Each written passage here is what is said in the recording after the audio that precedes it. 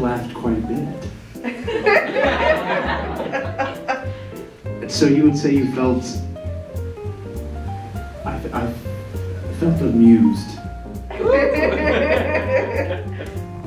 so I've delivered on the premise of the show.